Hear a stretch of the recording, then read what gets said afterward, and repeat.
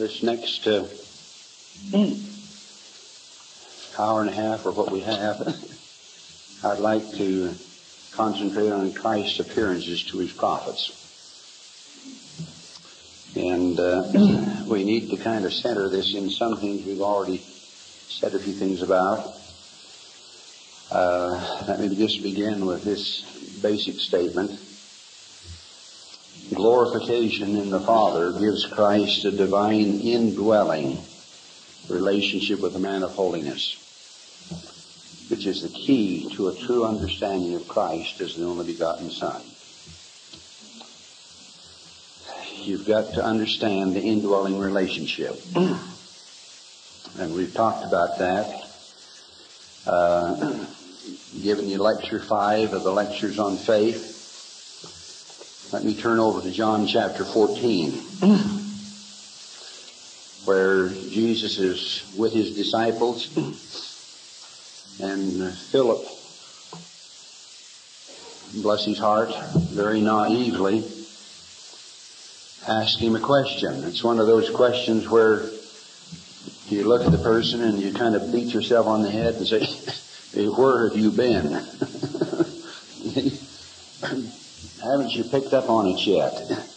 It's one of those kinds of experiences, and Jesus did it very graciously, but rather pointedly. Uh, we're here in John chapter 14, and uh,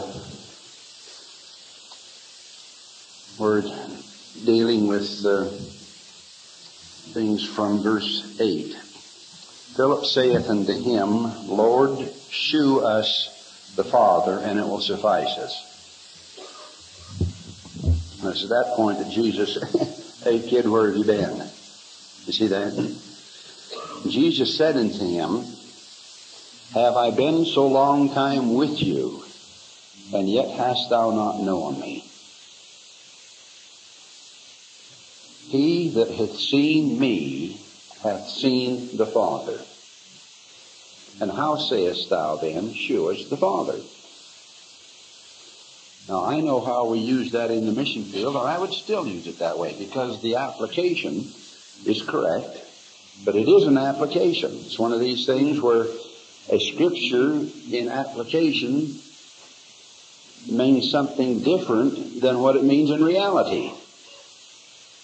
Now, in application, it says, I'm so much like the Father that if you were to see me, you would see him. And why are you talking about showing us the Father? Don't you know that I'm exactly like him?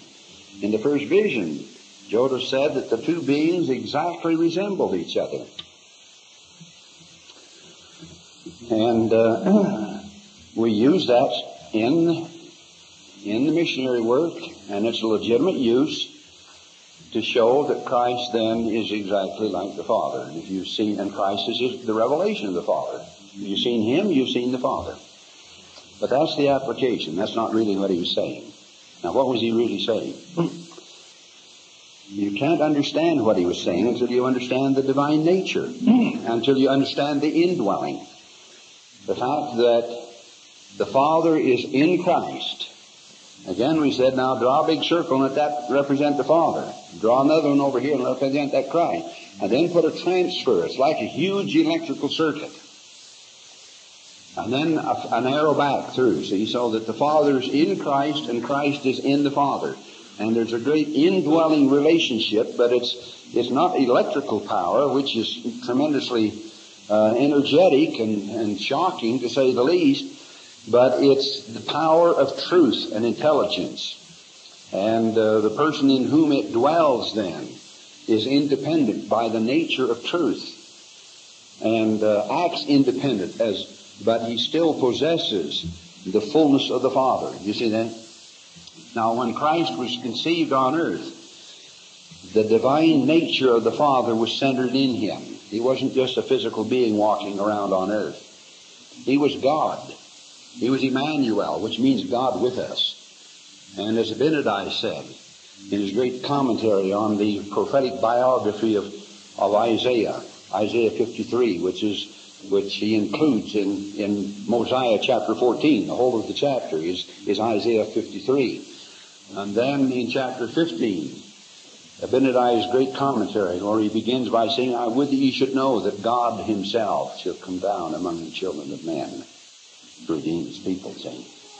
It's not elder brother, it's God himself. And when he came down on earth, the Father was in him. And he was the Father by reason of the indwelling of power and glory of the divine nature. And so he says now to Philip, Have I been so long time with you that you really haven't known me? He that has seen me hath seen the Father. And how sayest thou then, shew us the Father? And then note his explanation, explanation. Believest thou not that I am in the Father, and the Father in me? Now, it isn't an issue for many of us whether they believe or not. We don't even know about it. Now, believest thou not that I am in the Father and the Father in me? The words that I speak unto you, now he's talking about what he's giving, and he's not giving it by his own intellectual nature. He's giving it based on the flow of revelation within himself. And revelatorily. It's the Father that's giving it. See? The words that I speak unto you, I speak not of myself, but the Father that dwelleth in me, he doeth the works. You see that?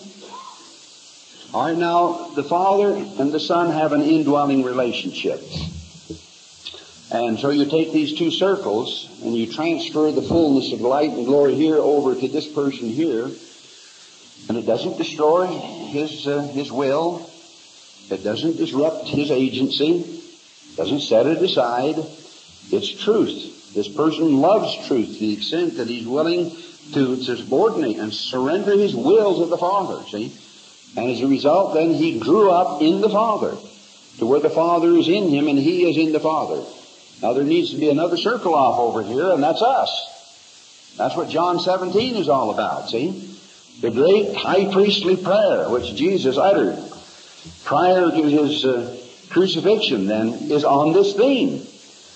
He says, for example, beginning here with the, with verse 20, let me get to it, in uh, this uh, uh, very sacred and very meaningful prayer.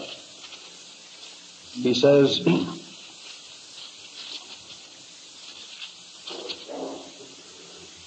verse 20, Neither pray I for these alone but for them also which shall believe on me through their words. That includes us. Chapter 17, verse 20. Pardon? And now the purpose for it. That they all may be one as thou, Father, art in me and I in thee. Now what's he praying for? What, what's, what's he saying? And what does what he's saying mean? You see that? What does it mean? That, that they all, that includes us, may be one as thou, Father, art in me and I in thee. That they also may be, be one in us. That the world may believe that thou hast sent me. Now, the only way you're going to really convince the world is to have a group of people who are in Christ and He's in them to the extent that the cloud by day and the pillar of fire by night rests upon every dwelling place. And then they come around and say, wow, this is better than Tommy James. Where did it come from? And you just say, you know, this is Christ. He's here. We're in Him and He's in us. And, and that isn't just light in the sense of the electrical bill that you have to pay to get it. This is glory. It's a radiance of light and life and glory, and people feel it. You can feel its power. It's a living power, and you can feel it. You'd walk right into it if it cost you your life. It's that attractive. You just, it's, it's living. And there's that indwelling, and the world knows then, or they finally have to sit back and say, we, we don't know anything about this. We know what electricity is and we know what atomic energy is, but this stuff, see, and look what it does for you. Look at the beauty that's here. And look at the peace that's here. And look at the standard of social life that's here. And look at the, the standard of economic life.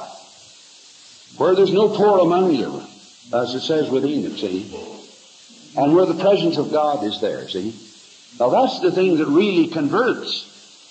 See, we have learned in the missionary thing that really converts is, is testimony. You teach by the power of testimony because the power of the Spirit flows with, with sincere testimony. Now you add to that the endowment of glory on Zion, what do you do?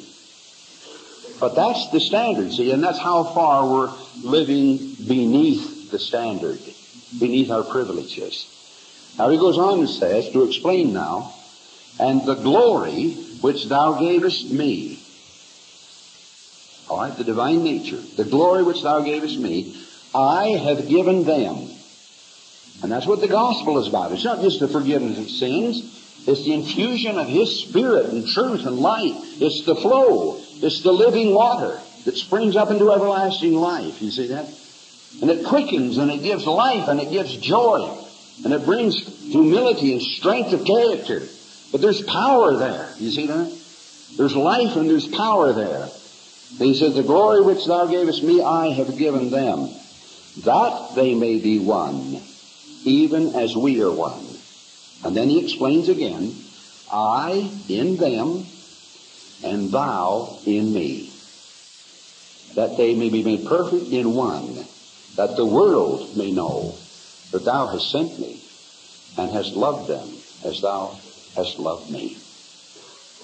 All right, now this indwelling relationship is the key to the understanding of Christ.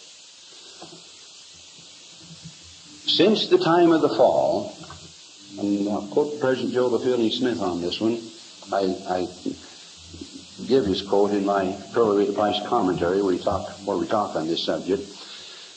But as President Joseph Fielding Smith said, since the fall, that person that we call the man of holiness, to whom we assign the exalted name title Elohim, that person has never said anything to the human family except to bear witness of Christ.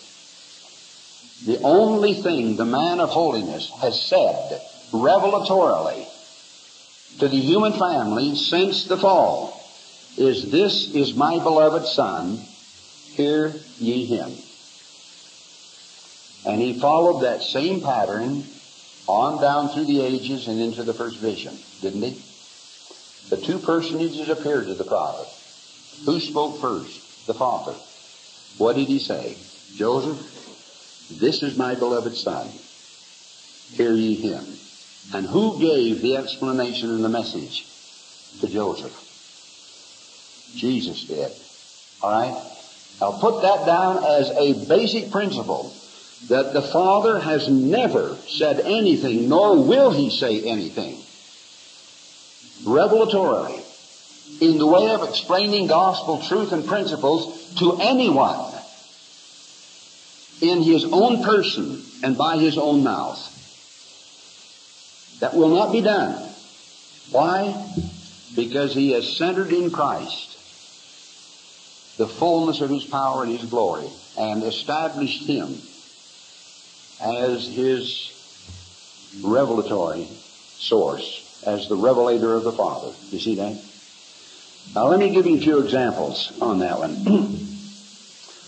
uh, you have, first of all, it's just uh, the idea, and this will come out in the prorate price, but let me get to the core of it a little easier here in the, the Book of Mormon. In Ether chapter 13, or the chapter 3, pardon, verse 14, you have uh, the pre-earth Christ speaking to the brother of Jared. And he says, Behold, I am he who is prepared from the foundation of the world to redeem my people. Behold, I am Jesus Christ. I am the Father and the Son. Now, who is he? He's a dual being. By what reason? By the indwelling of the divine nature within him. He's dual. Uh, and he's revelatorily dual. He, he reveals himself as the Father, and he reveals himself as the Son. He speaks as the Father, and he speaks as the Son. Now that's hard for us here in this compartmentalized world that we're in, where things are here and here and here, and we don't see the picture of the divine nature. Then Jesus goes on and says, In me shall all mankind have life, and that eternally. Even they who shall believe on my name, and they shall become my sons and my daughters. And as his sons and his daughters, then we grow up to be glorified in him as he is glorified in the Father. And so there's three circles up here. You see that? And we're and he's given us his glory that we might be one, that we might be in him, and that he might be in us. See? Now, again, uh, another chap, uh, verse here that's, uh, that's helpful. And that's Mormon chapter 9, uh, verse 12. It's just, it's just an illusion. You, you get uh, the great classic statement on this, and I won't take time on it, but, but read, for example, very, very carefully. Again, like a scientist would study a formula and really study it. Uh, chapter 15 of Mosiah. That's the classic statement in the Book of Mormon. Uh, here in, in Mormon 9, verse 12, Behold, he created Adam. And by Adam came the fall of man. And because of the fall of man came Jesus Christ, even the Father and the Son. All right, now the Father is in Christ. And by appointment, Christ speaks and acts and is the Father. He's Alpha and Omega. He's the beginning and the end. He's the author and He's the finisher of our faith. Now, what's outside the beginning and the end? Nothing. Everything is in Christ. In Him dwells the fullness of the Godhead bodily. You see that? And in and through Him is revealed the fullness of the Godhead. And I put it that way? Through Him is revealed the fullness of the Godhead. And you have a situation then where the Father and the Son and the Holy Ghost is one God. Not are, is.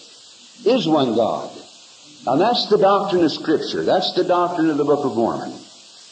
For example, over here, uh, mean to bring this one up, but since we have, let me get to it. Over here in Alma's exchange and Amulek's exchange with the, uh, the lawyers, with the Zeezrom at their head, they talk about the one God who is Jesus Christ.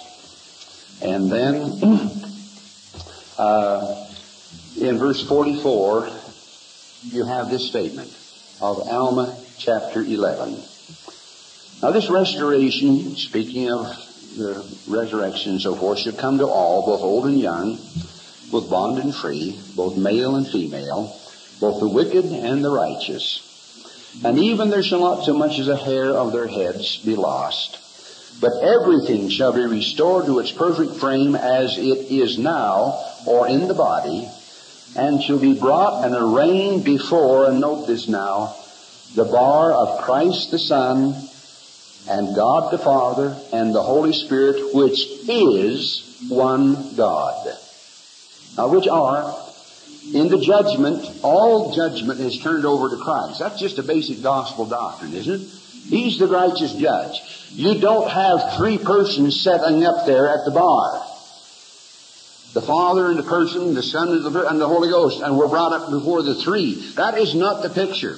You're brought to stand before Christ, the righteous judge, who is the Father, the Son, and the Holy Ghost. He is one God. You see that? Now that's the scriptural picture. And you don't pick that one up in the of price and see its meaning, you just say, wow, there's something wrong with that one. Maybe there's a misprint. Uh, but there's not something wrong with it. Uh, that's, the, that's the doctrine. But we can't understand it unless you understand the divine nature and how it correlates and how it becomes the basis then of the true knowledge of Jesus Christ. Let me turn to section 49 as another example, just to show this, and then we'll get into the picture a little more fully. You tell me now who is speaking. this is verse 5, section 49. Thus saith the Lord, for I am God, and have sent mine only begotten Son into the world. Now note that. I have sent mine only begotten Son into the world for the redemption of the world, and have decreed that he that receiveth him shall be saved, and he that receiveth him not shall be damned. Now who's speaking? In the sense of the articulation of what is said. Who's speaking? Turn over to the end of the Revelation, verse 28. Behold, I am Jesus Christ, and I come quickly, You even so amen. Now who's speaking? Christ. In what office and power? As the Father. Can you see that? Now that, that then is the picture of the, of the Scriptures. And, uh, until you pick that up and see that, then you, you, you're slunchwise in your reading of Scripture.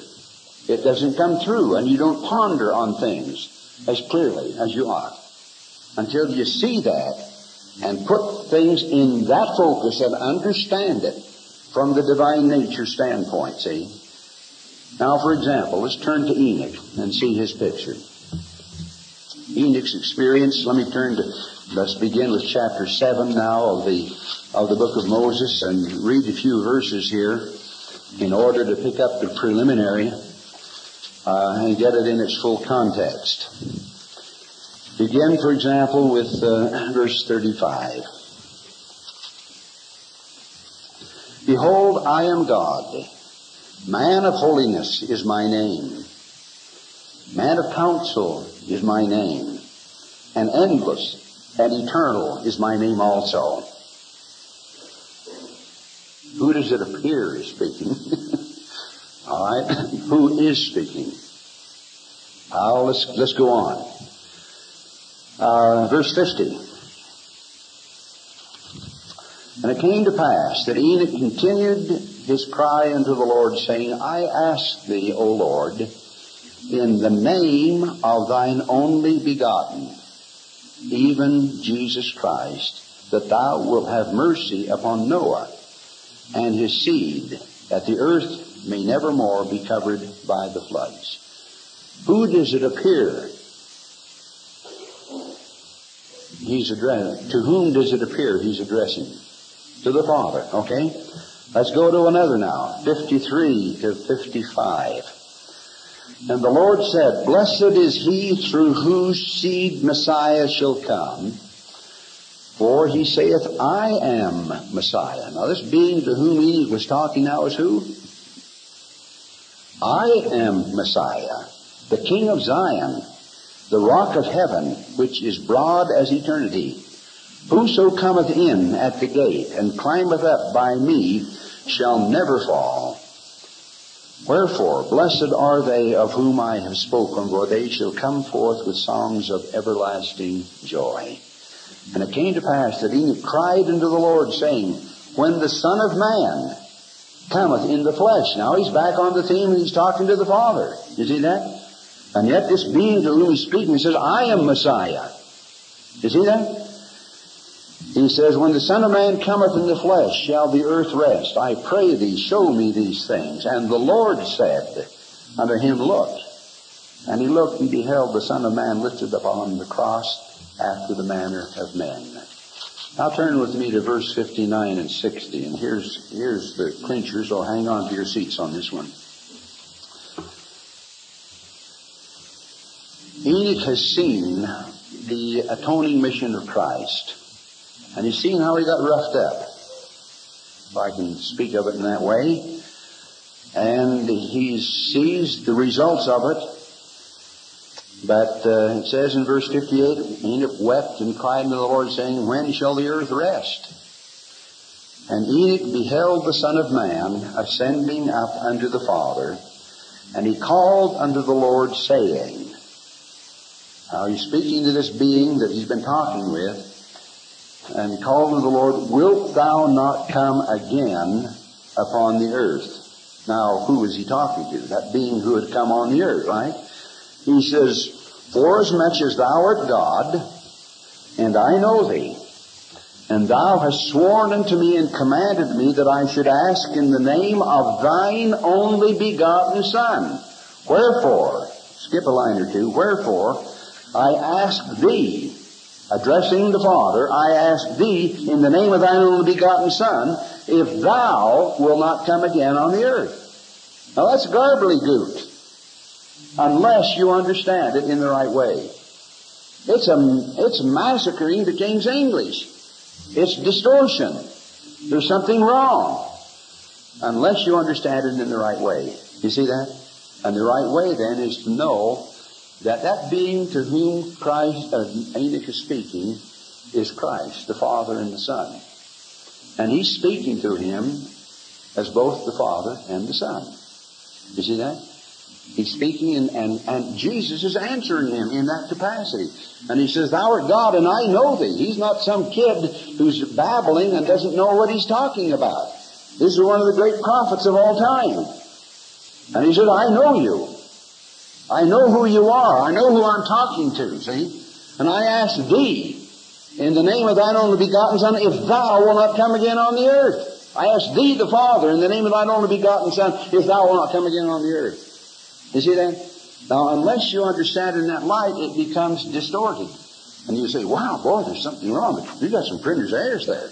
You know that? There's something left out. But there's nothing left out. Rather, instead, it's one of the great revelations of, of the pre-earth Christ, who acted in the office, power, and capacity of the Father. Now, can you see that? Now, let me turn to Ether chapter 3 with you. This is, this is Book of Mormon, but it's very helpful and it does tie in and relate. Ether chapter 3 is the account of the brother of Jared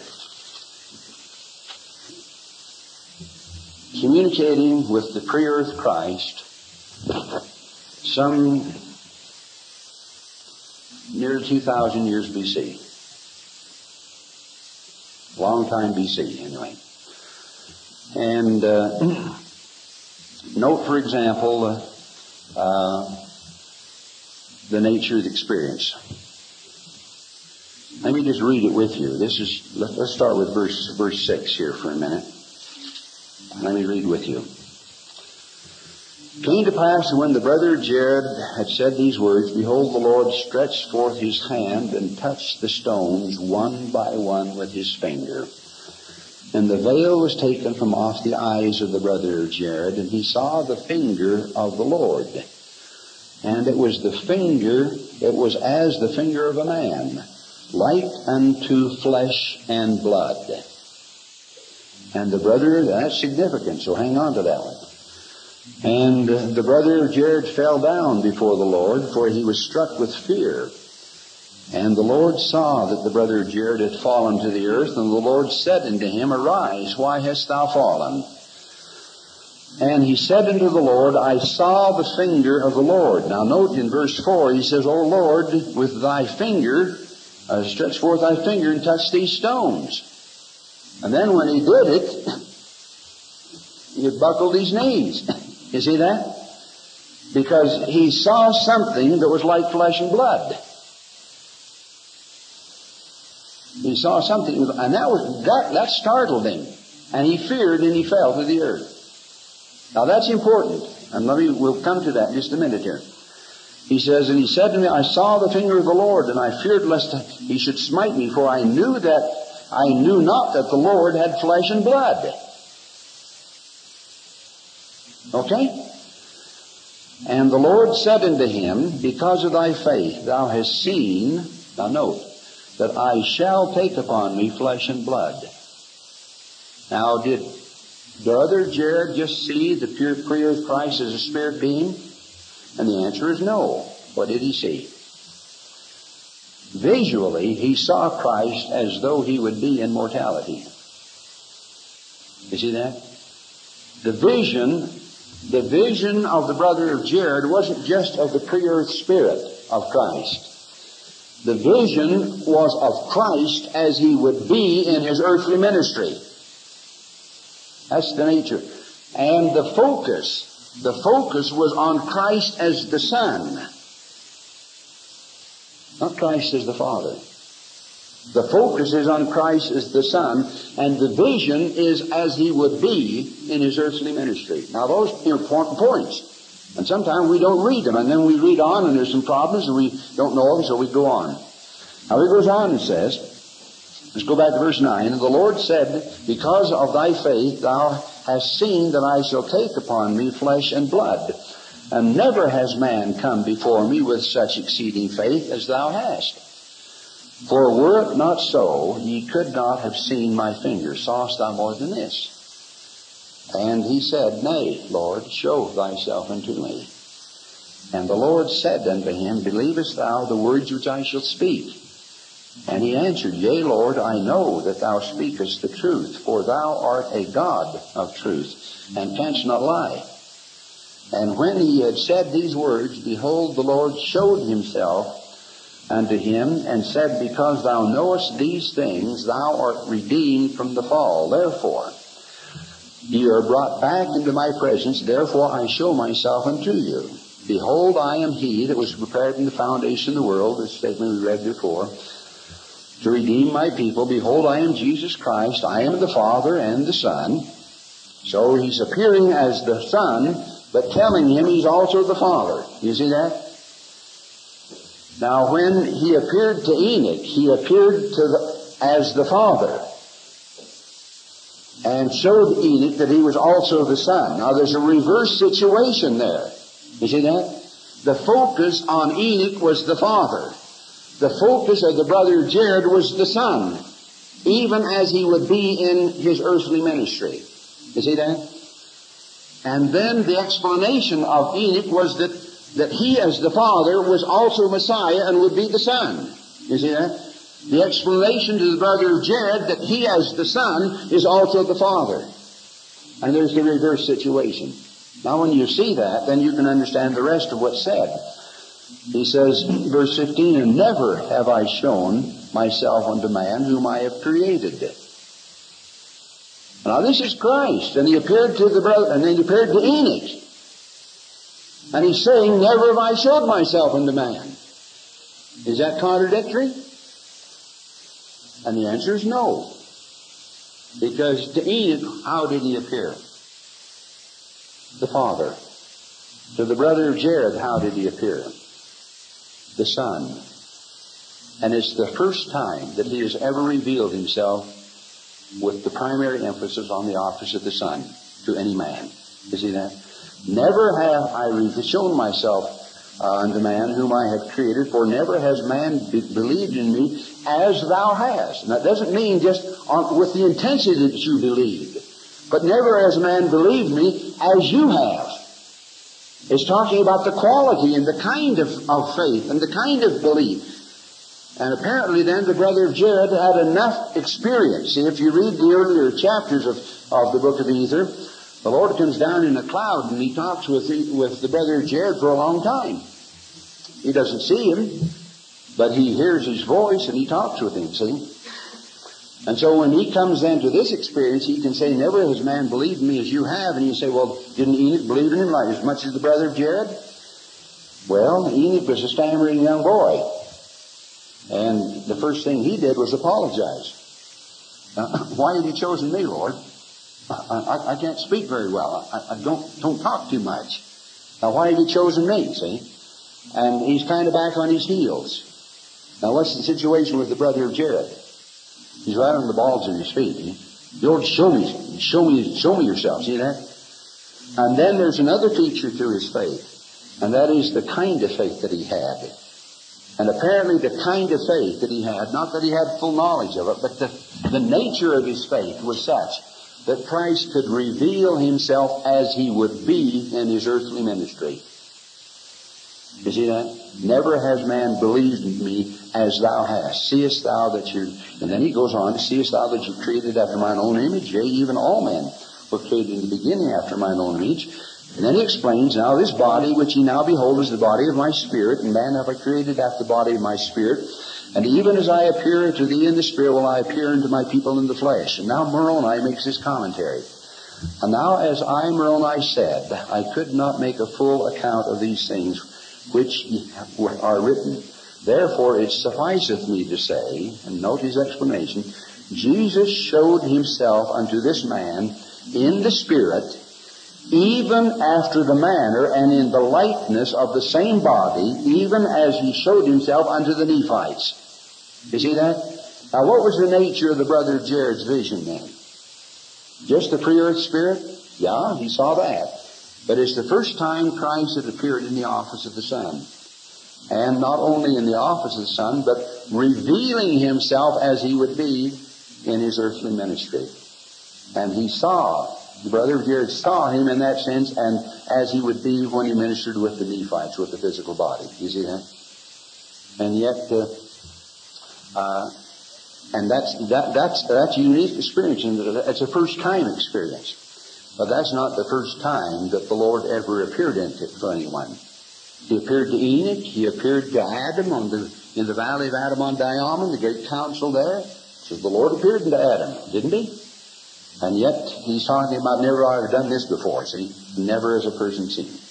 Now you can't understand those things unless you've got the foundation for it. That's that's that's even today uh, a great obstacle uh, in the minds of a lot of people. They, they read that, and the more they've read the scriptures, the more it becomes a problem until you see the thing in its proper light. Well, and, and that's related then to Enoch's vision, and maybe appropriate then that we should say something about it here.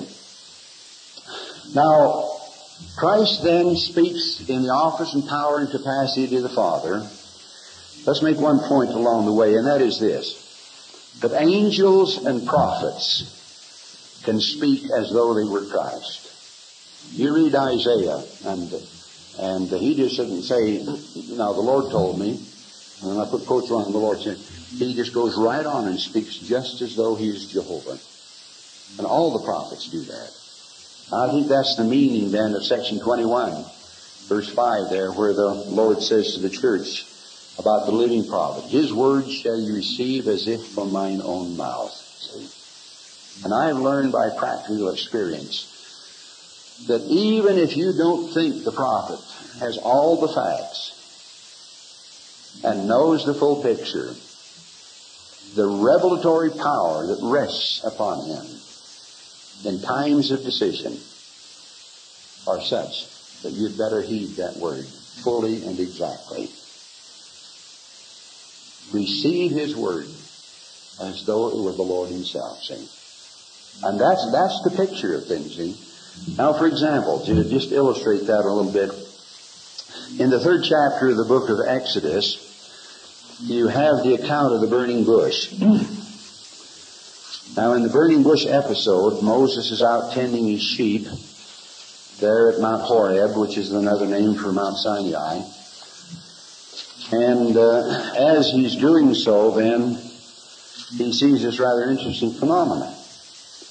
And the record says here, beginning with verse 1, Now Moses kept the flock of Jethro, his father-in-law, the priest of Midian, and he led the flock to the backside of the desert and came to the mountain of God, even to Horeb.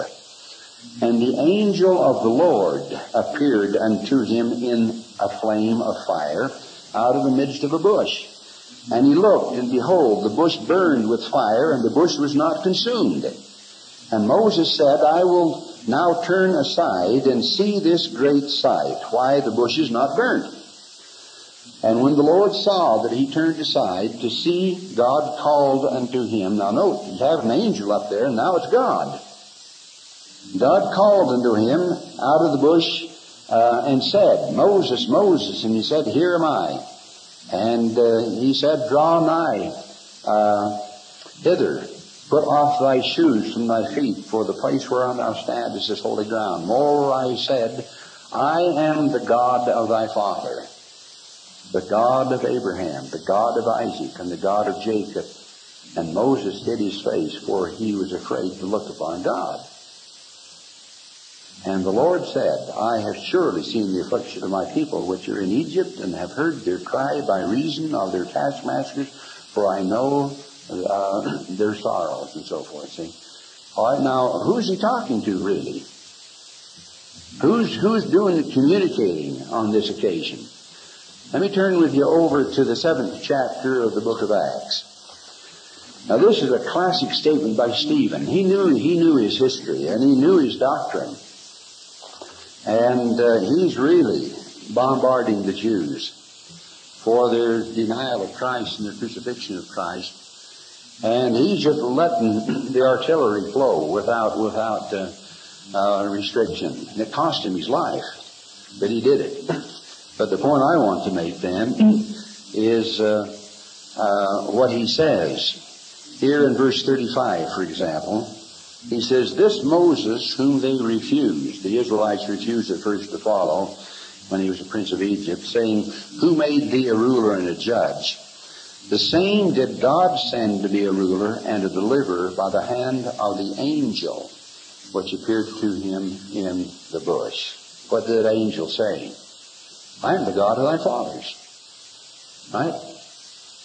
Now, that's inconsistent unless you know what? That angels have power of attorney.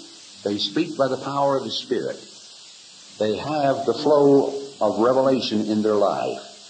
They have the position before God and man so that they can speak as God.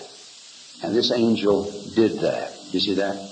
Turn, for example, to, to Exodus chapter 23. Uh, here you have the case of ancient Israel. Uh, in the rebellion, and that rebellion was such that the Lord finally got nauseated with them. He had been down there personally trying to bring them to himself. He came down on Mount Sinai and the whole mount was covered with light and glory and fire. It was, the mount was burning. Now this is the great, first great fireside in history, you know. And the Lord was there personally, see? And, uh, and they still then backed off and stood on their heels and said, Hey, Moses, you go talk. Lord. We, we, we just don't feel comfortable with it, see? And finally the Lord got disgusted and said, Hey, I'm not going to teach class any longer. I'm going to send you my graduate assistant. And uh, he'll teach you. You see that? And, uh, and this is what he says now about that graduate assistant, verse 20. He says, Behold, I send an angel before thee to keep thee in the way and to bring thee into the place which I have prepared.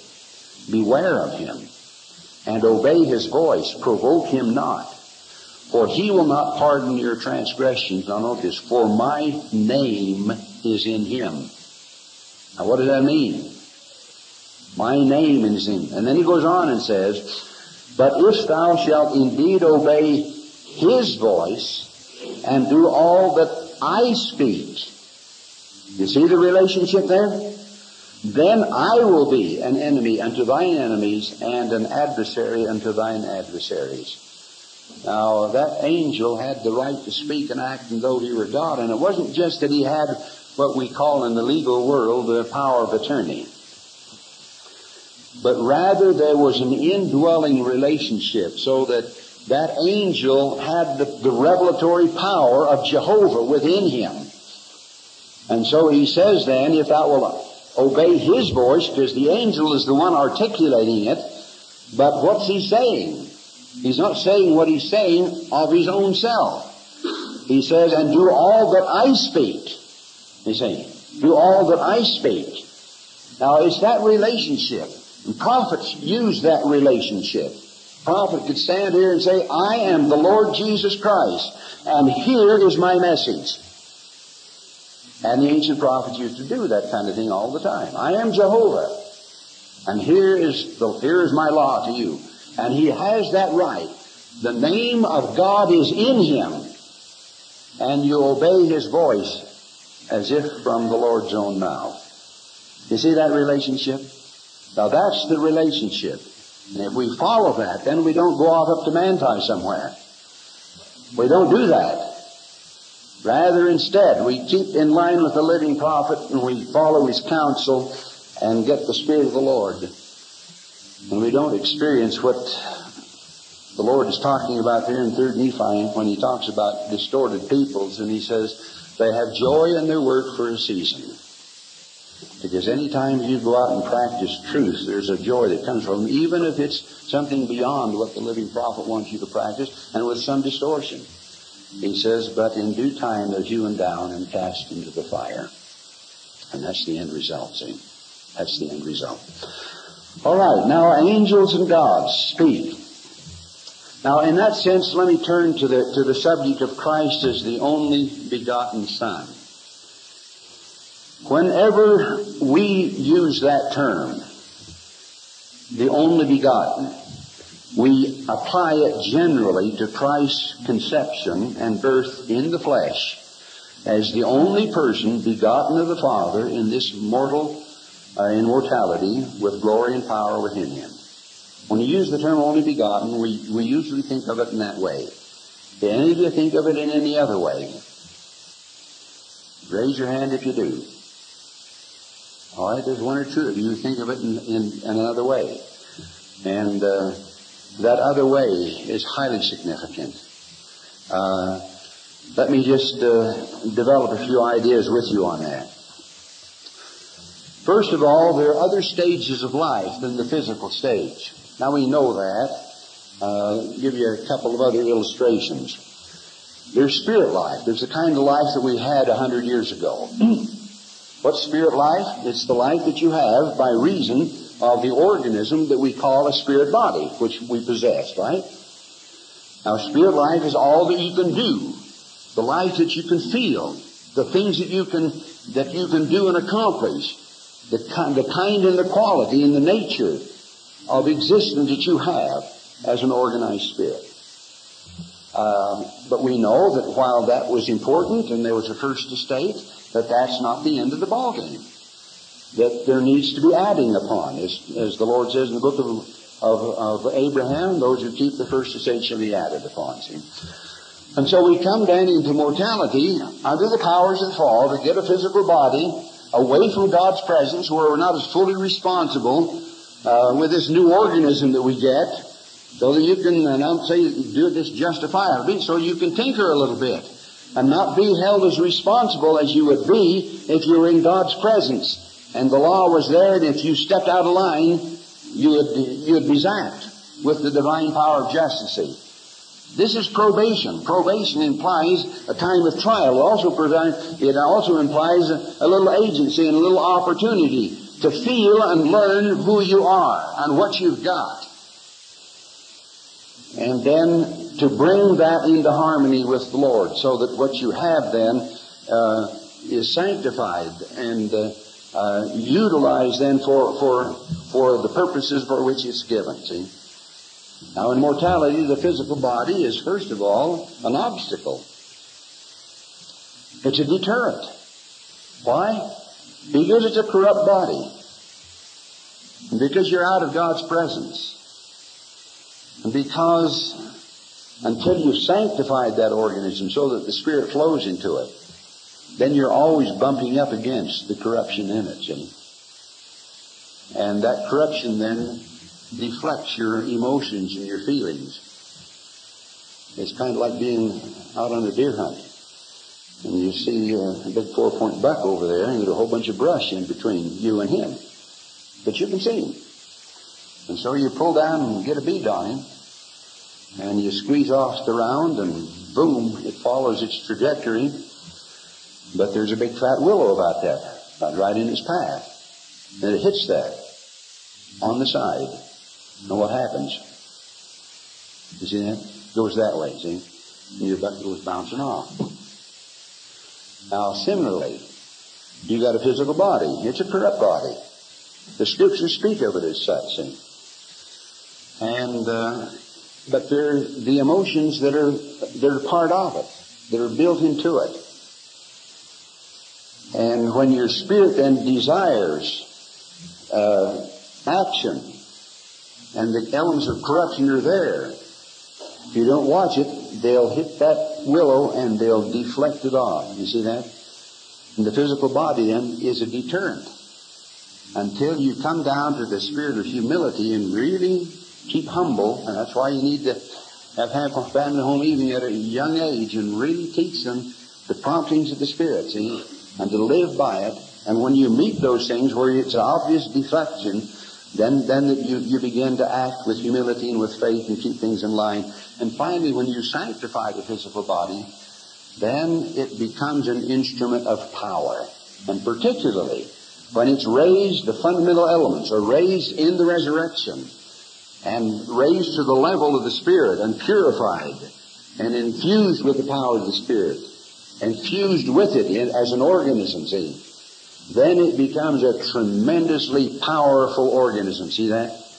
And spirit and body inseparably connected then bring you the fullness of joy. See? But uh, but the physical then to start with then is is the is an obstruction. Now there are different stages of life. There's spirit life, there's physical life, and the great challenge is to go through a new birth, a new birth, to be born again into the kingdom of God. And when you're born again, you don't just receive a remission of sins, you also begin to have the divine attributes centered in you. And we'll talk about that a little later. The rebirth program. And the, one of the classic statements in Scripture is in Moses chapter 6 on the doctrine of rebirth. And as you're born again then, you have infused into you the divine nature. You don't just get a remission of sins. The record of heaven dwells in you. The truth of all things, the power of all things. They begin to dwell within you and they begin to change and transform you into a new creature in Christ. And you take upon yourself His name and you enter into a newness of life. And that's not just a, a statement in hyperbole or symbolic. It's an actual literal newness of life. And you become sons and daughters of Jesus Christ. All right, now there's more than one stage of life. There's also a stage which we call priesthood life. Um, section 84 of the Doctrine and Covenants, beginning with verse 6 of the of the Revelation, is talking about what uh, uh, the Lord calls here the sons of Moses according to the holy priesthood. Now, he's not saying Moses' sons in the flesh. He's saying the sons of Moses according to the holy priesthood. And uh, then he goes on and says, for example, in verse uh, 33, For whoso is faithful unto the obtaining of these two priesthoods, the Melchizedek and the Aaronic, of which I have spoken, and the magnifying their calling, are sanctified by the Spirit unto the renewing of their bodies, and they be, that they become the sons of Moses and of Aaron. Now, they're not Moses' sons and Aaron necessarily in the flesh, but they're Moses' sons and Aaron in priesthood life. Now, what is priesthood life? In section 50 of the Doctrine and Covenants, the Lord says this, of one who is ordained. Begin with verse 27. He says, Wherefore he is possessor of all things, for all things are subject unto him, both in heaven and on the earth. Now note what's subject to him. The life and the light, the spirit and the power, sent forth by the will of the Father through Jesus Christ. Now what is priesthood? Well, it's the mind of God. It's the authority of God. It also is the channel through which the life of God is made manifest.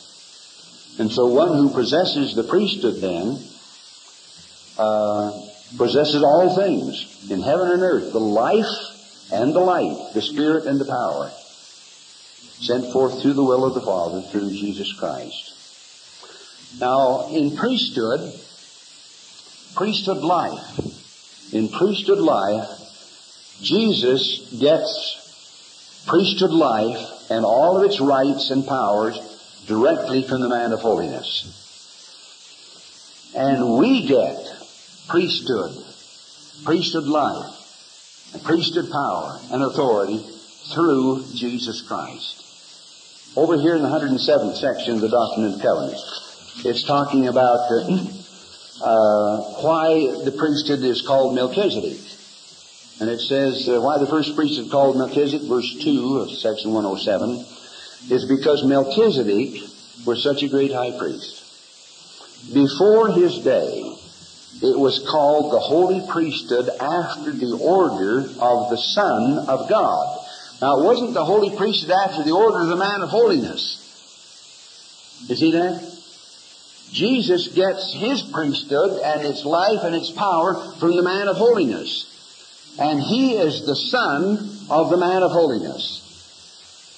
We've all quoted uh, Hebrews chapter uh, 5 verse 4, uh, where Paul's writing says, No man takes this authority unto himself except he was called of God, as was Aaron. How many of you know what's in chapter 5, verse 5? What's the next verse, in other words? Let me read it to you. He says, So also Christ glorified not himself to be made an high priest, but he that said unto him, Thou art my son, today, the day of ordination, today have I begotten thee.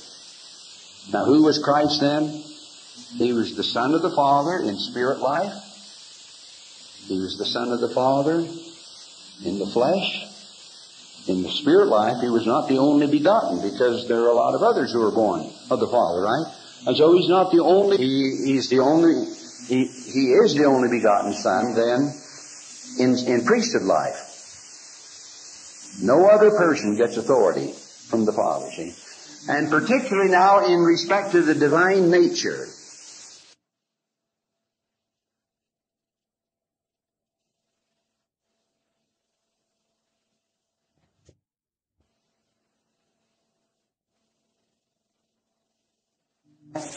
He gets them directly from the Father. And then He is appointed as our Lord and our God and as our Father. He is Alpha and Omega. He is the, the beginning and the end. He's the author and the finisher. He's the revelator of the Father.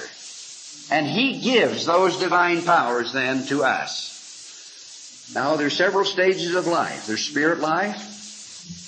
There's that life associated with the Holy Spirit or the glory of God uh, or the divine nature. There's priesthood life.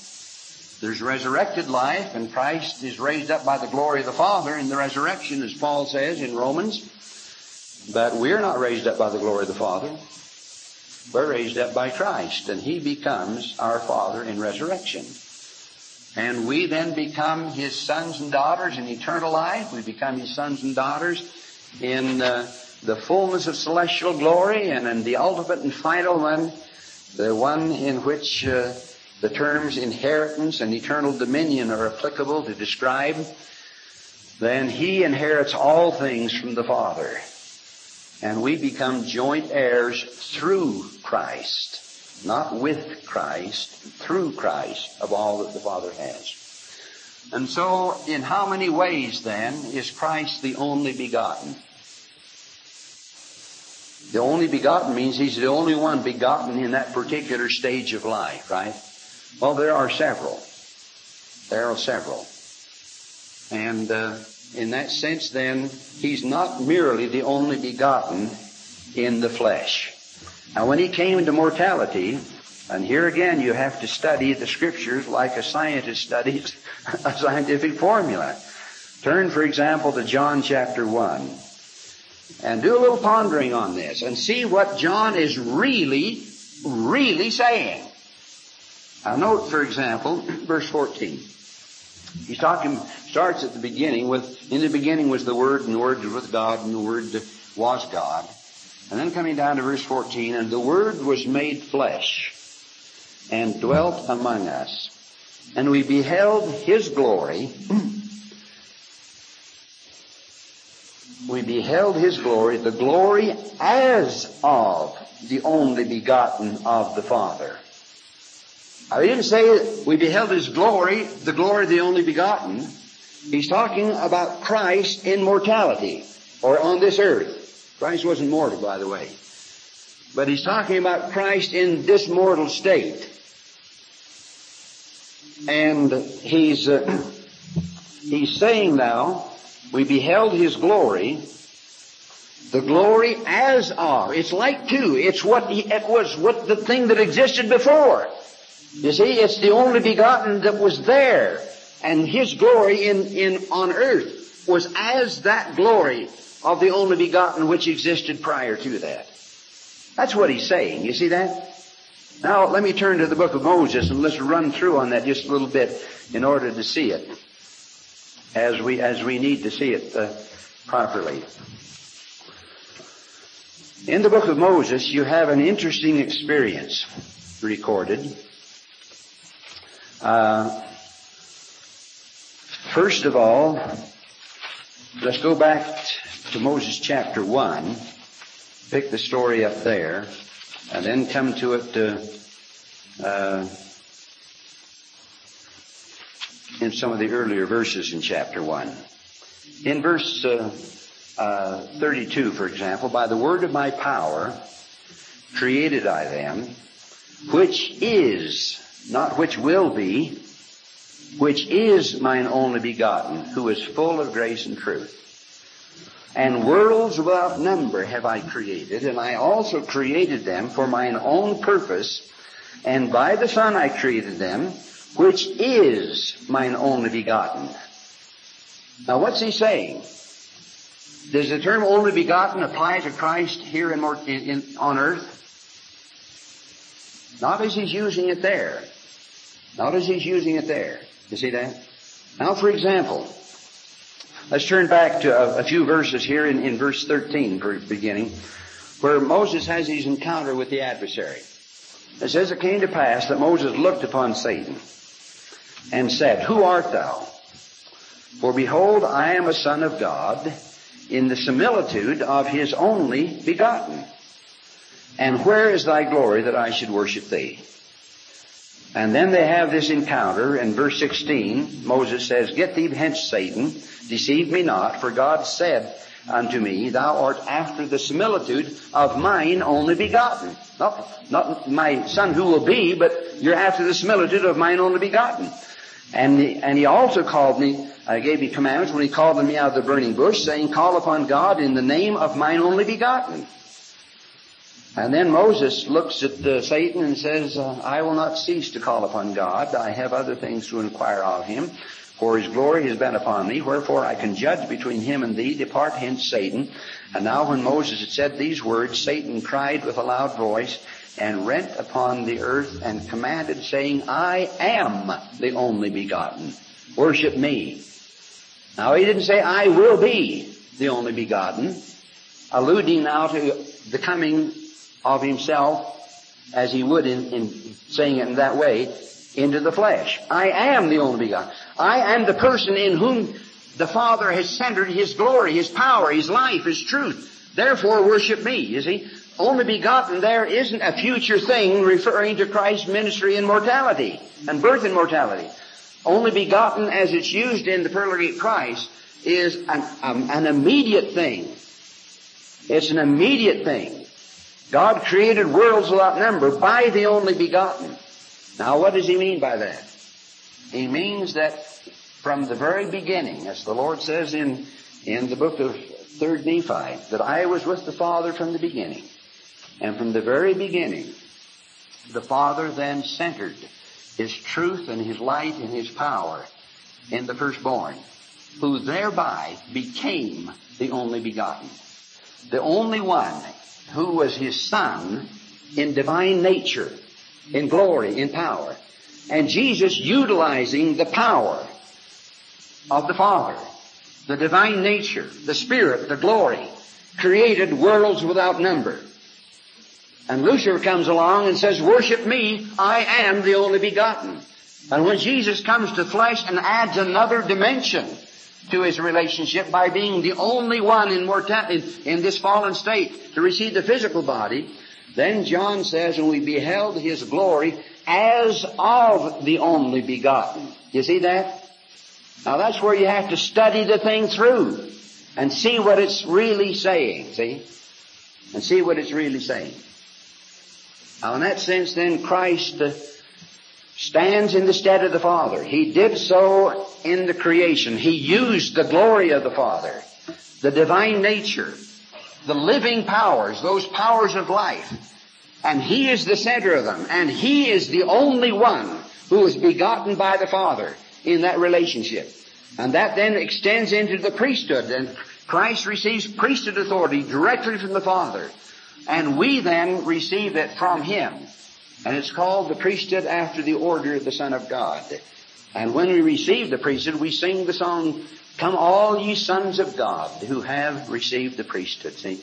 And we're talking about a new dimension in life. We're talking about us being brothers in priesthood in God, namely in Christ. Can you see that picture? And Jesus is the only begotten in that role. Now the great price helps us on that. We, again, as members of the church, we somehow haven't picked that one out very much, see? But it's a beautiful concept. Actually, see, the, term, the name only begotten is Christ's name for the Father. Now you ponder on that for a month or two. The name only begotten is Christ's name for the Father. The Father centers Himself, His glory and power in Him. And by the only begotten, He creates worlds without number. By the only begotten, He redeems and He glorifies. And that's, that's Christ's name for the Father. The term only begotten. Okay? Now, another feature of this whole thing is what we call, or what Book Moses calls, the word of the Father's power. Note this in verse 32. And by the word of my power have I created them. What does that mean, really?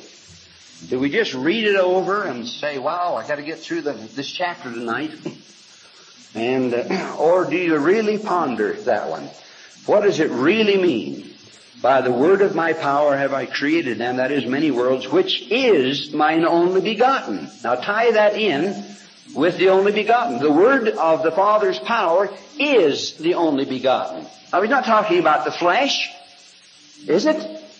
It's talking about the word of, of, the, of the Father's power, which is the only begotten. Joseph Smith made the explanation, and I'm quoting here from the lectures on faith. He says when a man works by faith, he works by mental exertion instead of physical force. It is by words instead of exerting physical powers with which every being works when he works by faith. God said, let there be light, and there was light. Joshua said, and the great lights which God had created stood still, still. Faith then works by words. And with these its mightiest works have been and will be performed. See, the Word is the expression of the power of the soul in union with the Spirit. And it's the Word of God's power. And this is the only begotten. You see that? By the word of my power created I these things, these many worlds, which is mine only begotten. And so the word of his power is a synonym for the word only begotten, and it is Christ's name for the Father. And therefore he said, in the beginning was the Word, and the Word was with God, and the Word was God. And by him all things are created. Now do you pick that picture up there? That's the scriptural revelation then of Christ. It's one of those sacred, important insights that we need to see and to understand in order to, to comprehend Christ and to begin to get a relationship with Him like we ought to get. Now let me spend some time on God's ministry then to His various prophets. Let's start with Adam. Turn over to Moses chapter 4. Uh, the relationship of God with Adam then is interesting and, and uh, unique. Uh, verse uh, 14, for example, of chapter 4.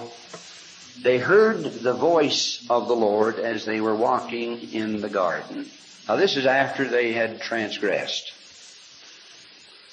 They heard the voice and then the Lord makes his appearance and you get the judgments then of the fall, which are the explanations of what I call our mortal probation, or our mortal heritage. When you get up in the morning and everything creaks and groans and and all hell breaks loose, and you wonder why you ever got out of bed that morning, just keep in mind that's your mortal heritage. and enjoy it if you can. okay. Uh, turn over to Moses 5, verse 4 and 5. Adam and Eve, his wife, called upon the name of the Lord, and they heard the voice of the Lord from the way toward the Garden of Eden, speaking to them, and they saw him not, for they were shut out from his presence. And he gave unto them commandments that they should worship the Lord their God and offer the offerings, the firstlings of their flocks for an offering unto the Lord. And Adam was obedient unto the commandments of the Lord. And by his obedience, and he lived to be a grandfather, obeying without really knowing. And that's a tremendous example in and of itself. We've always got to, to know before we're going to do. Uh, we need to be sensitive enough to the Spirit so that you just feel the promptings of the Spirit and then you do. And you just feel the witness of the living prophet. And then you do. You see that? And then the results come through and you've had a trial of your faith and, and you get the blessings that follow. Now, the final great uh, revelation and vision to Adam, and there were many. For example, if you'll turn over to chapter 6 of the book of, uh, of uh, uh, Moses, you'll find that the discourse that Enoch gives here concerning rebirth, the need to be born again, was given originally to Adam. Uh, he makes the explanation that Adam fell and all of that. And then in verse 50 he says, But God hath made known unto our fathers that all men must repent. And he called upon our father Adam by his own voice, saying, I am God. Now this is Christ speaking. I made the world, and men before they were in the flesh. And he also said unto him, If thou wilt turn unto me and hearken to my voice and believe uh, and and believe and repent of all thy transgressions and be baptized in, in water in the name of mine only begotten who is full of grace and truth. And, see, and so he gives the gospel plan then to Adam and talks about rebirth and Adam obeys it. And he cries out then uh, with desire for the blessings in the latter part of the chapter. And he's caught away and he's by the Spirit and laid in, down into the water and is baptized and uh, the voice of the Lord speaks to him out of heaven saying, Thou art baptized with fire and the Holy Ghost, and this is the record of the Father and the Son. Another name for that is that this is the celestial computer. This is the record of the Father and the Son. It's uh, the record of all that God speaks and all that God does. And uh, the divine computer is Himself. It's His divine nature. And when we get born again, then it's given to abide in us. Verse 61. Therefore it's given to abide in you, the record of heaven. That begins to dwell within you. And if you learn to push the buttons in the right way and not to clutter up the screen and do it right, then the record of heaven is opened and the revelatory power of heaven is opened and the knowledge of God is open. You see that? And it's not just theological knowledge. It's not just the smart brain that you need. You just need an honest heart and you need an open spirit. And you need to learn to walk with the Lord. You need to come to Him in that way. With faith that He'll answer. He'll give you His truth. And then meet the challenge of discipline when He gives it. Discipline yourself. Bow on your knee and covenant. Not just say, Lord, help me. Covenant with Him. That you're going to do better. You're going to stand up and be the person you ought to be. And then you'll begin to feel the strength and the power and the Spirit, and it'll be a source of revelation. It'll be like living water, springing up into everlasting life. There's no end to it. There's literally no end to it. You may get to the point, and I've done that in my ego at times, saying, boy, I don't know if there's anything else that the Lord knows. And then when you get humble again, and He begins to open things again, you know how ignorant you've been all the time and still are. I have people that say to me, boy, Brother Andrus, if I just knew, I'd be satisfied. If I just knew what you know. I say in my heart, you poor soul, you knew what I know and quit, you'd be damned. That's all there is to it. Because the thing is a living thing. It's living water. It's the bread of life. It's something that continues and that opens and expands bigger and bigger. It's like the, the horn of plenty. It opens and expands bigger and bigger. And even though you're not as sharp mentally at times, the flow of the Spirit is there and you feel it. And it's revelatory in its character and in its power, see? And that's the gospel, see? That's the gospel that we've received. Well, let's turn to the revelation then given to Enoch. Over here, and there's several divisions of that. I don't know that we've ever really handled this thing as, as it ought to be handled, or even, can I say, compartmentalized it as it ought to be. For example, in Moses chapter 6, start with verse 26. I went through and made just a few notes here. Uh, to, to pick up the Lord's ministry to Enoch at the various stages of Enoch's life that we have a record of in the Pearl of Great Price. And here in verse 20 he says, well, let's go back to 26. He says, And it came to pass that Enoch journeyed in the land among the people, and as he journeyed, the Spirit of God descended out of heaven and abode upon him.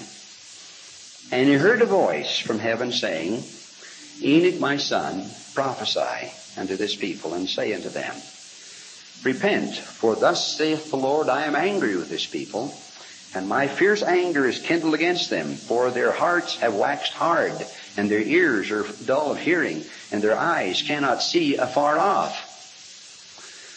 And for these many generations, ever since the day that I created them, have they gone astray, and have denied me, and have sought their own counsels in the dark, and in their own abominations have they devised murder, and have kept, uh, not kept the commandments which I gave unto their father Adam. Noted all sinners back with him. Wherefore they have forsworn themselves, and by their oaths they have brought upon themselves death, and a hell have I prepared for them if they repent not. And uh, this is a decree which I have sent forth in the beginning of the world for mine own mouth, for mine own mouth, and the foundation thereof, and by the mouths of my servants and my thy fathers have uh, thy, my servants, thy fathers have I decreed it, even as it shall be uh, sent forth in the world unto the ends thereof. And Enoch, uh, when Enoch heard the voice, uh, heard these words, he bowed himself to the earth before the Lord and spake unto the Lord and saying, Why is it that I have found favor in thy sight? See? Now that's commendable in a lot of ways. That's commendable. You know, you wonder why. Now, why, why have I been born where I am? Why has the Lord given me, you know, what He's given? Uh, but put that alongside of the brother of Jared. So you put that along the side where uh, it's one thing. It's one thing to be humble, and I'm not militating in any way against it. But it's also another thing to have that positive dynamics that we call faith. To get up on the balls of your feet in the spirit of humility and faith. See, it's one thing just to be humble and sit back, and it's another thing to, mm, and that's what the brother of Jared did. See, Lord, show show yourself to him.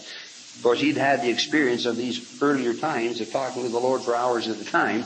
So, and this is brand new to Enoch, see, and so you have to balance the, the facts then in that whole situation.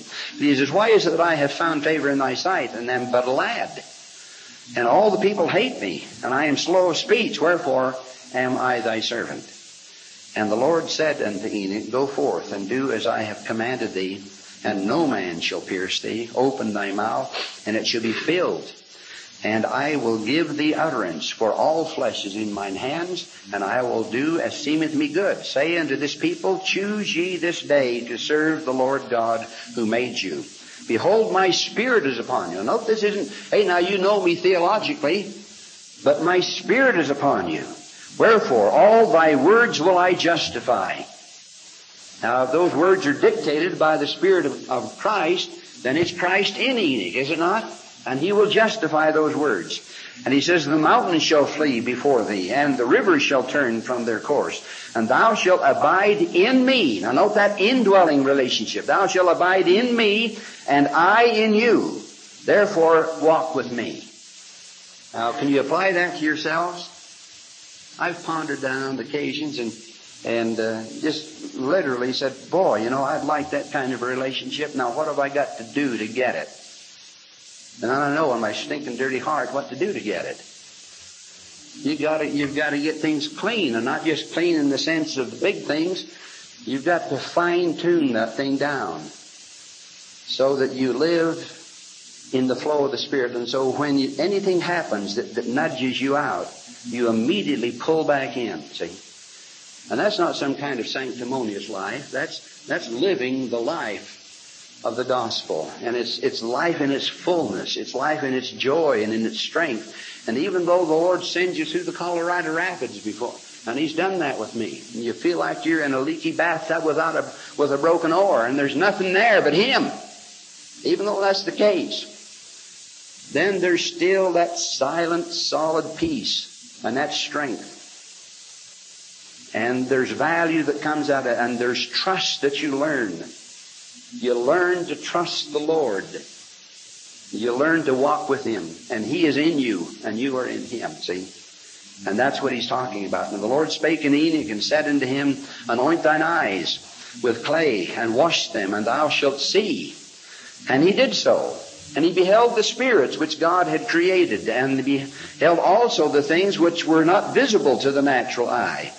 And from thenceforth came the saying abroad in the land, A seer hath the Lord raised up unto his people. Now what is a seer? Well, a seer is one who sees through the medium of the Spirit. Now there's a special instrument that the Lord has devised. We call it a Urim and Thummim. And uh, a companion to it is a seer stone. Joseph had both. And he used both in his ministry. The translation of the Book of Mormon and so forth, see? A seer sees visually. The Urim and Thummim operates visually. For example, over here in the third chapter of the book of Abraham, chapter 3, verse 1, uh, the record says, for example, and I, Abraham, had the Urim and Thummim, which the Lord my God gave me in unto me in Ur of the Chaldees. And I saw the stars, that they were very great. See, the Urim and Thummim operates visually. Now, Joseph Smith, if I can put this in parenthetically, used the Urim and Thummim to translate. If you read, for example, chapter section 3 of the Doctrine and Covenants, verse 12, then this statement becomes meaningful. This is the episode of the loss of the 116 page book of Lehi, which Martin Harris lost. And uh, the Lord speaking to Joseph about it says, And when thou deliverest up that which God had given thee sight and power to translate. S I G H T. Now Joseph translated as a seer.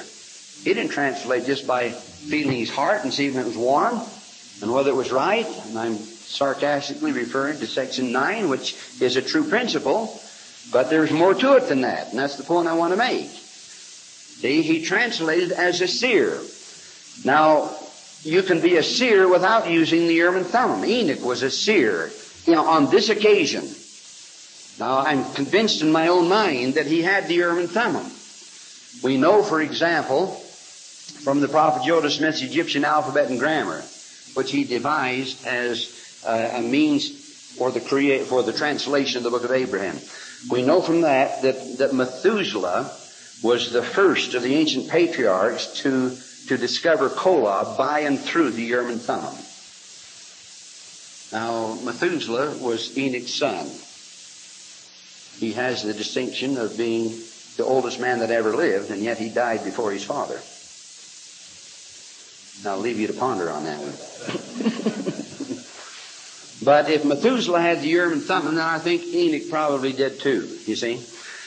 But on this occasion, there's no evidence that he had the Urim and Thummim. The point is, he anointed his eyes with clay, and the Spirit rested upon him, and the act of obedience in doing what he did, not the, not the clay, but the act of obedience, brought him then into the final union that he needed so that the veil parted and he saw the spirit world and he saw many things. And the saying went abroad that a seer hath the Lord our God raised up. Now that's Enoch's, according to the record, first experience with the Lord. You see that? That's his first experience. Now uh, let's come to the second one. Let's go turn over to to chapter seven, uh, verse two, beginning. Uh, it says. Uh, and from this that time forth Enoch began to prophesy, saying unto the people. that as I was journeying and stood upon the place called Mahujah and cried unto the Lord, there came a voice out of heaven saying, Turn ye and get ye upon uh, the Mount Simeon. And it came to pass that I turned and went up on the mount. And as I stood upon the mount, I beheld the heavens open, and I was clothed upon with glory. And I saw the Lord, and he stood before my face, and he talked with me, even as a man talketh one with another, face to face. And he said unto me, Look, and I will show unto thee the world for the space of many generations. And it came to pass, it says that I beheld the valley of Shum, and lo, a great people which dwelt in tents, which were in the valley, the people of Shum. And again the Lord said unto me, Look, and I looked towards the north, and I beheld the, the people of Canaan, which dwelt in tents. And the Lord said unto me, Prophesy. And I prophesied, saying, Behold, the people of Canaan, which are numerous, shall go forth in battle array against the people of Shum, and shall slay them, and they shall utterly be destroyed. And the people of Canaan shall divide themselves in the land, and the land shall be barren and unfruitful, and other people shall dwell there, but the people of Canaan. For behold, the Lord shall curse the land with much heat well, he goes on and he talks about various things then in relation to the situation of that time. Let me just conclude with verse 11. And he gave unto me a command and said that I should baptize in the name of the Father and of the Son, which is full of grace and truth. Now the word, he didn't say which are full of grace and truth. He says which is full of grace and truth. Did you pick that one up? Let me give you another one. Over here in uh, Wow, verse Moses 5. Moses 5. see if you see if you pick that one up. This is verse 9. That day the Holy Ghost fell upon Adam, which beareth record of the Father and the Son, saying, I am the only begotten of the Father. Now what's the antecedent to I? The Father and the Son, okay? And the Father and the Son is whom? The only begotten. You see that? And he was the only begotten then, not just waited to become so in the flesh. See? I am the only begotten, henceforth and forever. And as thou hast fallen, thou mayest be redeemed, and so forth. See? Uh, see, the scriptures deal with Christ as the Father and the Son. Don't they? That's the point. In verse 11, he gave unto me commandment, I should baptize in the name of the Father and of the Son, which is, which is Christ, i.e., Christ, which is full of grace and truth, and of the Holy Ghost, which beareth record of the Father and the Son. You see that? All right, now after after that one, then let's turn uh, to another account of Enoch, and this is over in Moses chapter 7, uh, verse 19 through 21.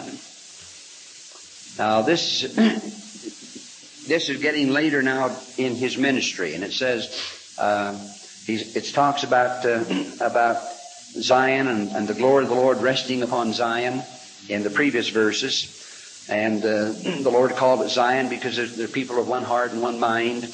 And then in verse 19, Enoch continued his preaching and righteousness to the people of God. And it came to pass in his day that he built a city that is called the city of holiness, even Zion. And it came to pass that Enoch talked with the Lord, and he said unto the Lord, Surely Zion dwelleth, shall dwell in safety forever. But the Lord said unto Enoch, Zion have I blessed, but the residue of the people have I cursed. And it came to pass that the Lord showed unto Enoch all the inhabitants of the earth. And he beheld, and lo, Zion in process of time was taken up into heaven. And the Lord said unto Enoch, Behold, mine abode forever. See? Now, this particular experience with Enoch then gets us right into the Zion picture and then the translation picture. You see that? The prophet Joseph Smith explains that the power of translation is a power of the priesthood.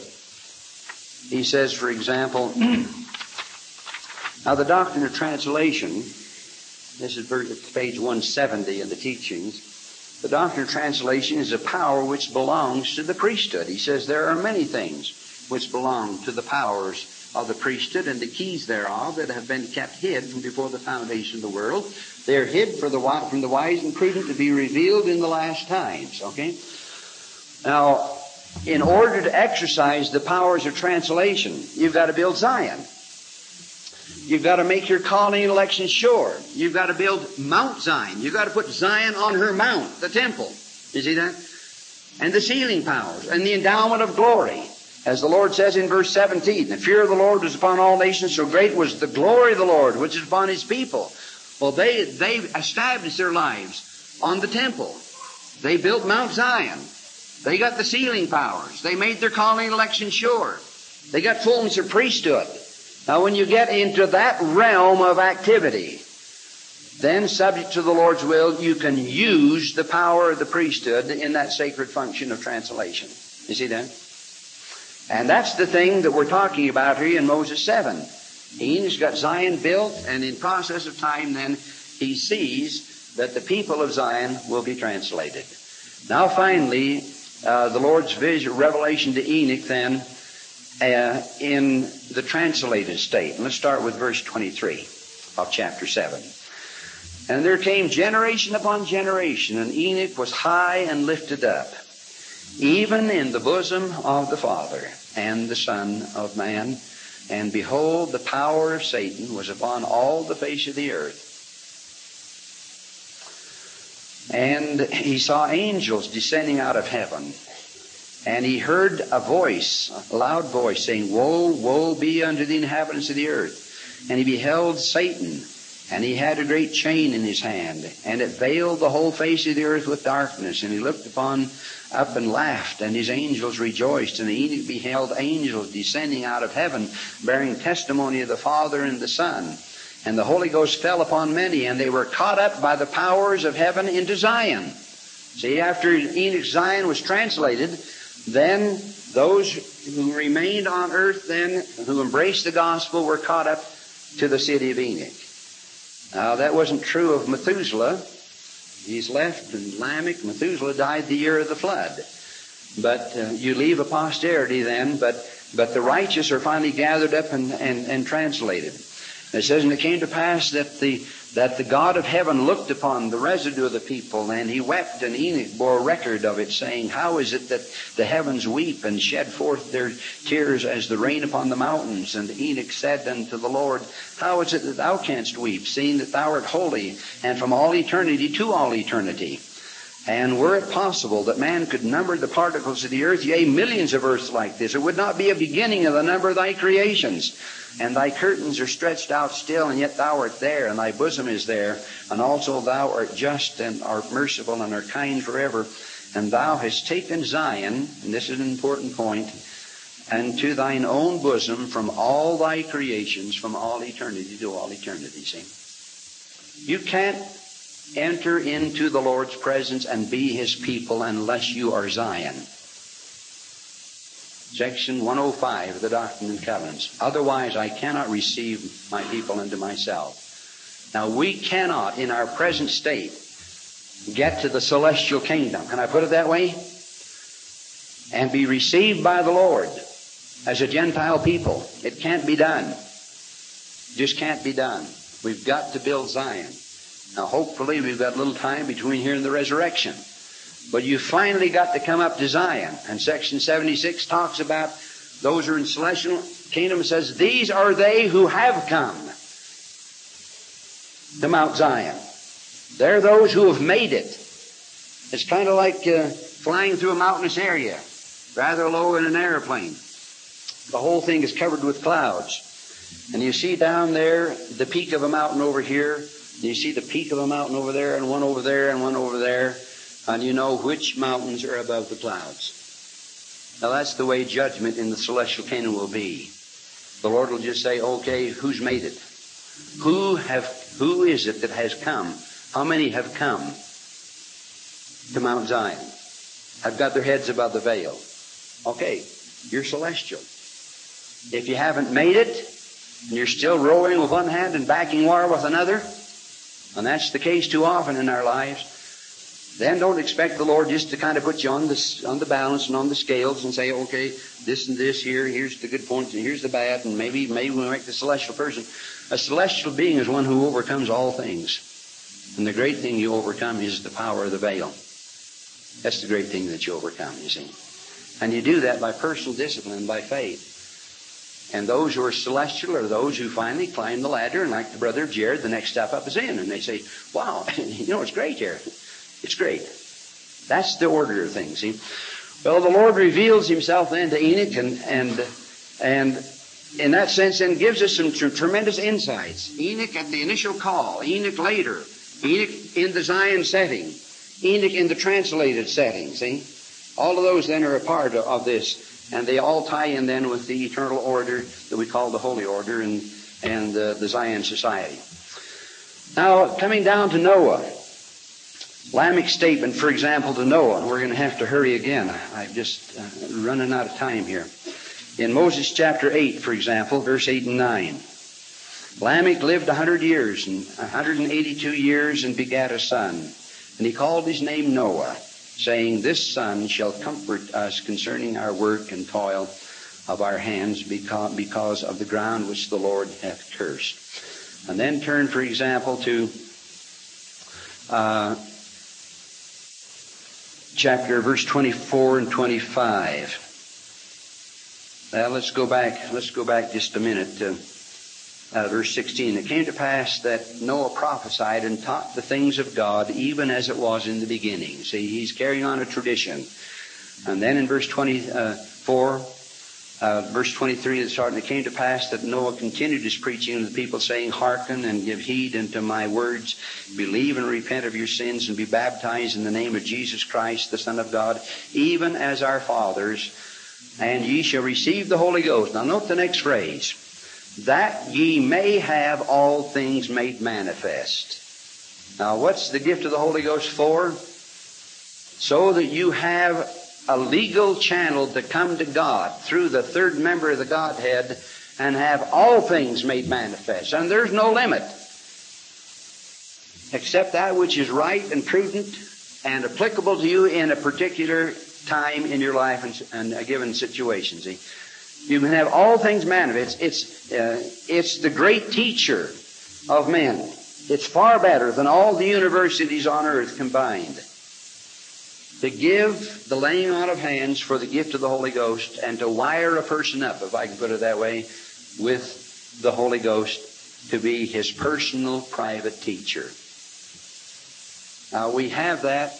We don't do much with it we need to apply as much emphasis there as we as we do in, in getting our education, and it'll give to us greater benefits. Believe me, greater benefits than than the educational process. Although both of them are important.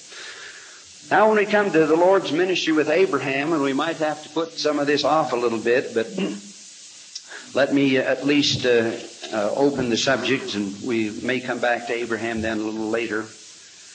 Uh, We've already talked about Abraham in relation to the Holy Order yesterday. Now, beginning with chapter 1, verse 12. It came to pass that the priest laid violence upon me, Abraham is reporting, and uh, that he might slay me also, and as they did those virgins. This is human sacrifice, and Abraham almost became a victim of it. And he says, tells about the bedstead, the iron bedstead that was made, verse 13. Then he goes on and says that you may have an understanding of these gods. I've given you the fashion of them in the figure in the beginning of this, and that's the first facsimile. And then he says in verse 15, and as they lifted up their hands upon me, that they might offer me up and take away my life, behold, I lifted up my voice unto the Lord my God. And the Lord hearkened and heard and filled me with the vision of the Almighty. And the angel of his presence stood by me and immediately unloosed, unloosed my bands. And his voice was unto me, Abraham, Abraham, behold, my name is Jehovah. And here again an angel is talking. You see that? My name is Jehovah, and I have heard thee, and have come down to deliver thee, and to take thee away from thy father's house, from all thy kinfolk, into a strange land which thou knowest not of. And this because they have turned their hearts away from me to worship the God of Elkenah, the God of Libnah, the God of Mahmackrah, uh, Makara, and the God of Korash, and the God of Pharaoh, and the God of Egypt, or the king of Egypt. Therefore I have come down to visit them and to destroy them who have lifted up their hands against thee, Abraham my son, to take away my life. Behold, I will lead thee by my hand, and I will take thee to put upon thee my name. Now what does that mean?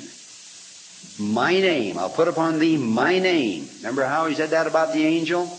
Put upon thee my name, even the priesthood of thy father, and my power shall be over thee. And as it was with Noah, so shall it be with thee.